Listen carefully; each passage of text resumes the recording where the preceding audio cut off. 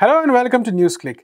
Over the past few weeks, there's been a huge controversy after WhatsApp released updates to its privacy policy, which it mandated that users had to accept before February 8th to delete their accounts. Now, this led to a huge amount of outrage. A lot of people ended up downloading and migrating to Signal, which is a secure app. There were a lot of discussions around it. WhatsApp and Facebook, which owns it, were a bit taken aback. They released a lot of clarificatory statements. And it looks like finally they had to step back a bit because now they've announced that this update has been postponed to May. Yesterday, we talked to NewsClick's Prabir Purkayastha on this issue in terms of what this policy changes meant, what is the strategy of Facebook and WhatsApp, and what are its implications on users. Here's what he had to say. Well, one shift is that what it was sharing has become, with Facebook, has become more public because there was a slim window that it had given in 2016 for its users if they want to opt out of their data being shared with Facebook, WhatsApp users' data being shared with Facebook.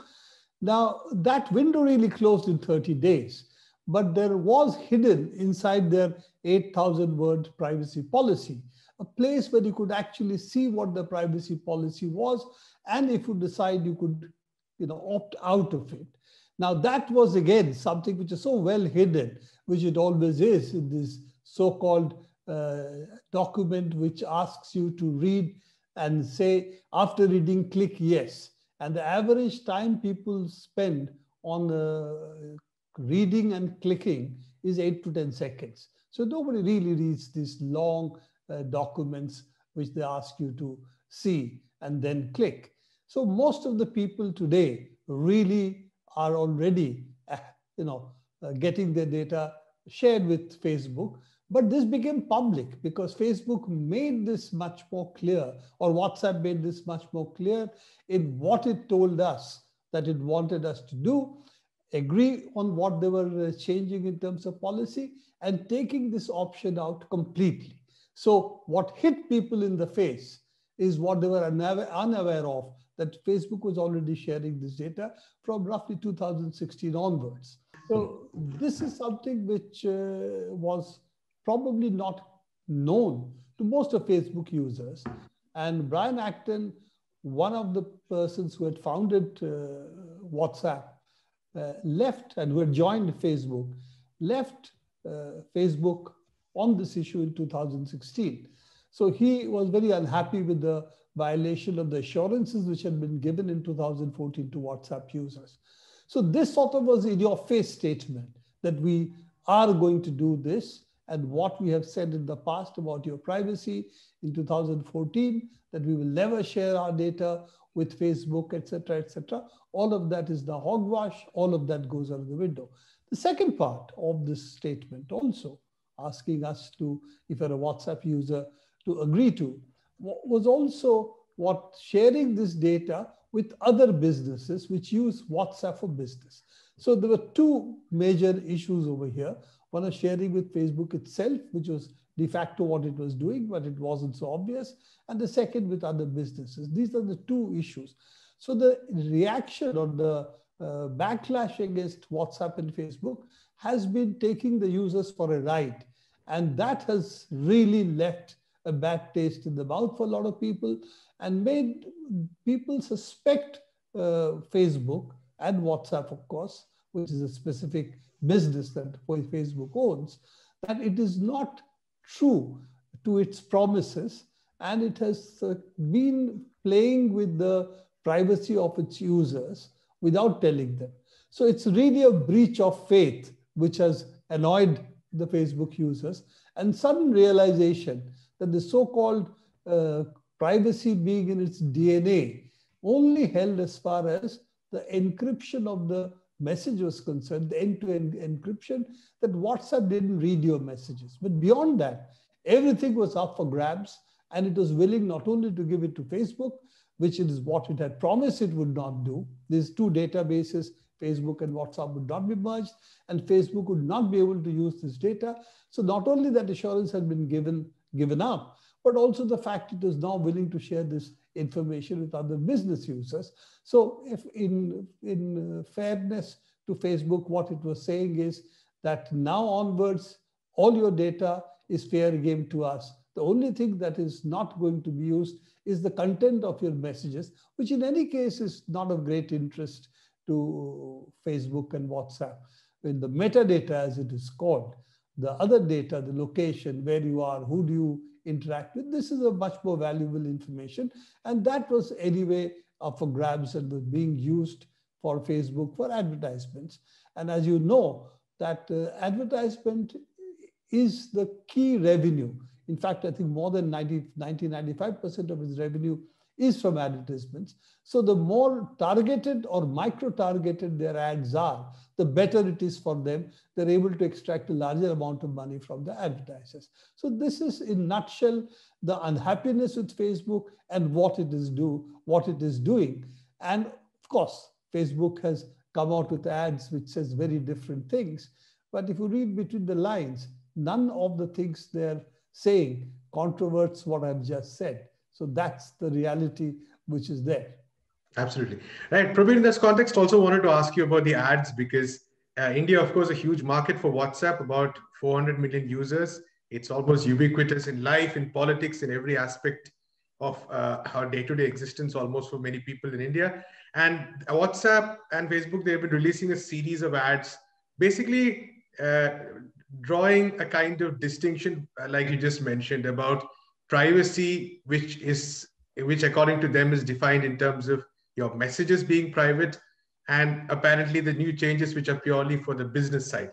So that's really the distinction they've been drawing, trying to convince users that hey, this is not really about you. This is about you know a certain other class of users. So could you maybe delve into a bit more into this issue of really how uh, just purely because your personal messages are not being read, nonetheless, what is the implication? You know, the whole idea that because the content is not being re read, your message is somehow safe completely from the state. That's really the premise of all of this. Is, as you know, not really true. All you need to know is what is the group, who are the members of the group, and that's also part of the metadata. And once a state knows that, then it can requisition, seize one phone in that group and all the information is all will be there in the phone, which can be easily downloaded. Even if you delete it, it can be recovered from the phone.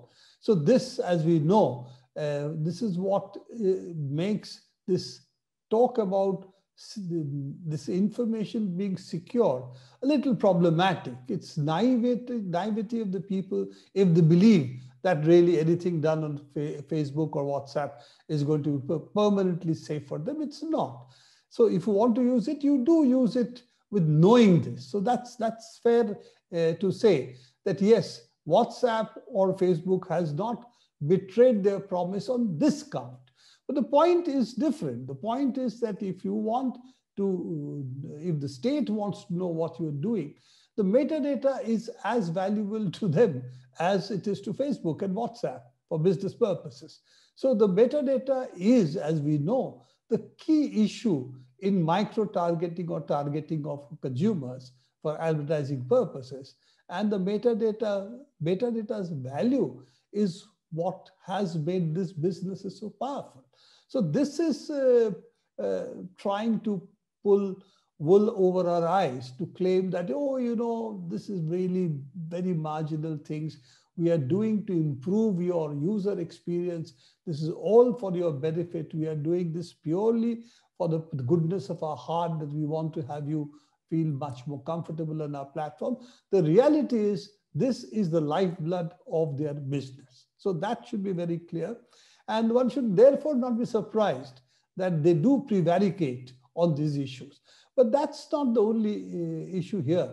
The second issue, which I think is very important, this is the other part of the promise they have made that they will share this data on their platform if it is used for business. WhatsApp used for business purposes, for say chatting to another business, and they want to use WhatsApp for this purpose.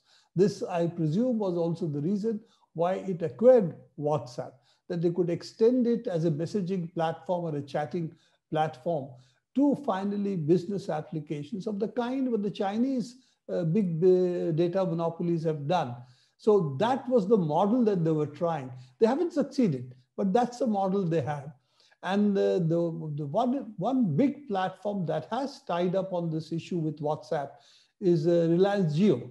JioMart has tied up with them. So presumably they will be using WhatsApp for their marketing outlets. So you have access to 400 million users using a platform people are familiar with already for merchandising purposes. And that also explains why uh, Facebook took in Reliance, uh, Reliance Jio, a $5.7 billion investment. Uh, that was a chunk of investment they made in Reliance Jio. So that was the purpose. The second part, and that third part of this actually, though this is really a part of the business platforms itself, is also that Facebook has got now a permission for its payment app. And that's the other part which is of the puzzle. That therefore, Facebook's use of WhatsApp or plans to use WhatsApp is for payment and for business. And they want to use WhatsApp for that and share this data with also their customers as well as the customers' data with Facebook. So this is the new avenue they want to carve out for themselves, which is merchandising and payments. And if they can complete that using WhatsApp, then WhatsApp becomes a platform which is going to integrate a whole bunch of services on top of it and may, after some time, make money or credit cards rel relatively less useful because people will be using WhatsApp for payments like they do in China where they use really Alipay and uh, I think WeChat for their payments. That's the most common payment mechanism people have. Right. So that is the direction that Facebook uh, wants to go and wants to use WhatsApp for that. And I think this particular move in terms of privacy, which they have done, which has really exposed their plans, has, I think, caused them a credibility gap, a serious credibility gap, because Facebook has always made promises regarding privacy which it hasn't kept. And one of the major problems with Facebook is the fact of dilution of privacy, systematic dilution of privacy from the beginning. Absolutely. Right, Prabir, and finally, in this context, of course, this uh, these developments coming globally at an interesting time. We know that in the United States, there's been a massive antitrust case against Facebook. One of the demands that has come out in this process is that WhatsApp and Instagram, for instance, be divested from Facebook. Of course, in previous instances, we've had European authorities taking a look at it. We've had, say, Australia from a different perspective take a look at action against Facebook, not necessarily from a competitive perspective. But uh, even in India, some calls have been made. So globally, there is a lot of talk about the danger of the monopoly that Facebook presents. And something like this might be perceived as even pushing action on those lines, even not maybe not action, at least discussion, pressure on those lines even further. So, do we see steps like this, for instance, strengthening the claim of, say, anti monopoly cases? You know, it's very interesting that you raised that because in the European Union, as well as in the UK, Facebook and WhatsApp data is not merged like it has been done in almost all other jurisdictions. So they have been able to protect themselves because of the privacy laws and because that, that was deemed to be a violation of privacy laws. Therefore, in these two jurisdictions, they don't uh, they don't access each other's data. And Facebook has said that this change will not affect European users, European Union users or the UK. So that, that is interesting to note that they themselves recognize there was a regulatory bar in these platform of, on these platforms of using or merging each other's data. In India, when the payment gate uh, payment uh, permission was given uh, by UPI or the National Payment Gate, Gateway, whatever the regulatory body is, this was also a condition made that WhatsApp and Facebook's uh, data should not be shared. Now, they have not, it doesn't appear that they have observed this because from they have the only exception they have made was European Union and UK in their statements. So it does seem that this has been violated in India already. And they propose to violate it even more by saying business data will be shared.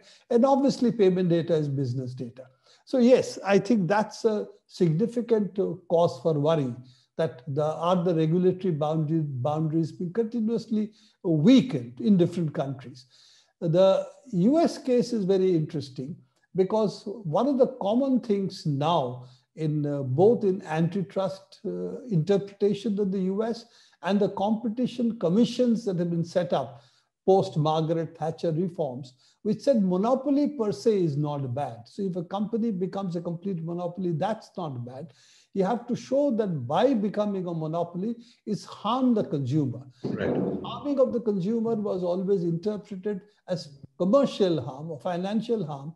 And the argument is, well, Facebook and WhatsApp is giving you free services. So where is the question of harm?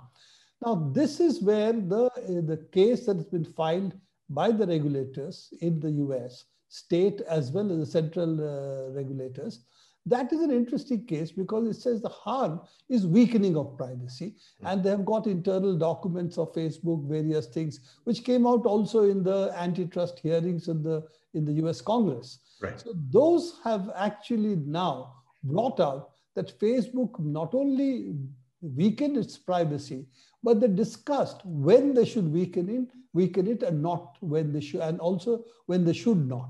So right. these internal documents make clear Facebook was very aware that if they get a bad press, they're going to have a problem. And mm-hmm. therefore, they should be careful about when they should weaken privacy. And it's very clear as and when they become more and more monopolistic, meaning their competition disappears. And Facebook, by its own reckoning, owns about more than 90% of the social media. I'm not counting Google plat- as a platform for social media. It's right. really a platform for other things. For social media, it's really Facebook which dominates the, right. inter- the international market and the US market, with the exception of China and perhaps uh, Russia. It really dominates over the rest of the world.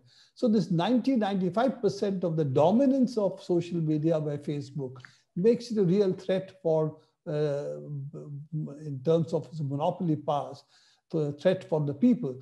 And I think that is the real, that is the reason which is causing worry to Republicans to Democrats on both sides of the aisle in the US Congress, that this is something which is really a threat to our democracy. As you know, Facebook is a threat to a democracy during any election, whether it's India or the United States or during Brexit in the, in the UK. So that power of Facebook, that, it, that itself is a threat, not the fact that how it is used, whether it should put uh, Trump on its platform, ban him, retain its uh, videos or not retain it, those are peripheral. The real issue is the kind of monopoly power it has and the ability to swing elections in any country by just selectively micro-targeting right. set of users and the way they play the game with the uh, advertisers as well as the political parties in power. Absolutely. Right. Thank you so much, Prabir, for talking to us. That's all we have time for today. Keep watching NewsClick.